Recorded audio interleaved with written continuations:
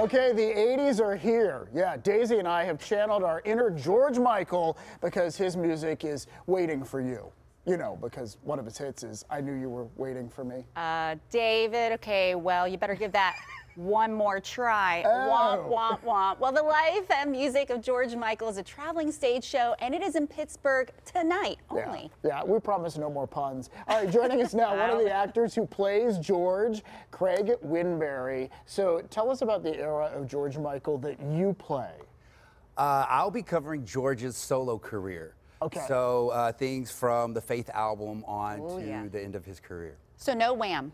Uh, there's Or, Wham, or I mean, well, I mean, like no, no OG wham, I guess I should say. Like, Maybe if you come to the show, you'll see. But our show has two Georges. We have someone that covers the Wham hits, and then I cover the Oh, career. I see. Got it. Got And it. And there's a fun uh, finale that we have. So Oh, good, a nice little tease. Yeah. I mean, who is the show for? Obviously, it's anyone that grew up in my era uh, Hey, knows my these era songs. too, All right, David. I didn't mean to claim him just for, for mine, but really, his music spans generations. yes. it does. Uh, with George Michael, what uh, I've been seeing on the road with the shows is people are coming because they want to have a good time.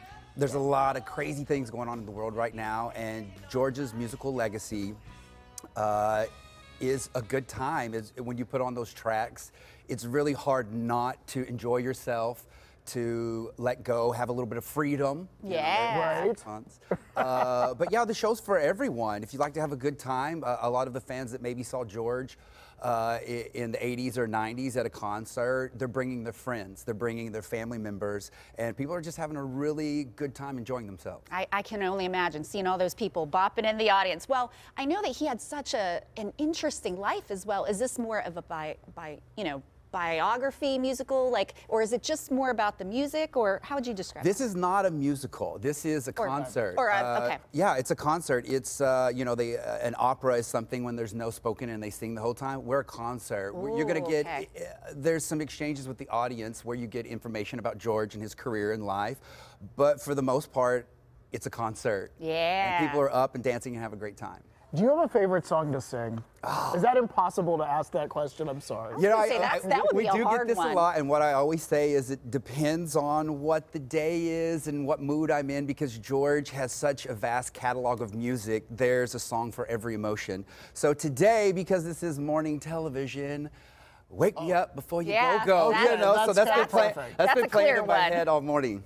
Yeah, well, tell us a little bit more about yourself. I know that you are you from New York, Yes. or you're in New York currently. So tell us how you even got started. Yeah, I live, I've lived in New York the past 10 years, uh, actor, singer, songwriter. Mm-hmm. Um, I, you know, at the time was working as a hairstylist. Then I was at the Shampoo Bowl, uh, giving a great shampoo, and there's a couple seats down, someone was a casting director. They heard me singing, and um, long story short, just over the years, you know, getting involved in musical theater in New York City. I wrote a cabaret show. So just diving head into live entertainment, and I'm here today. That that's I one of those that stories. story, Yeah, really. where Yeah. you get spotted. How Somebody cool. just heard you singing. Yeah, you know, I came to this later in life and um, I, you know, thought the ship had sailed. And uh, over the years, doing the cabarets and other live performances in New York City, there was always a George track in my set list. Always, you know. Um, so coming full circle to this project and now uh, getting to share his hits uh, with America is truly a great experience.